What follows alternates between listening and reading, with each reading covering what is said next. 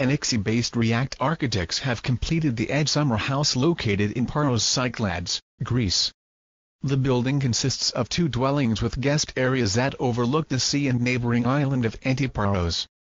Situated on the highest point of the lot, terrace courtyards and wide stairs lead to the plateau landings with rooftop gardens which extend into the indoor and outdoor spaces. The north side elevations open onto the patio landings, while, the east side is dominated with local vegetation and the sight of transverse walls.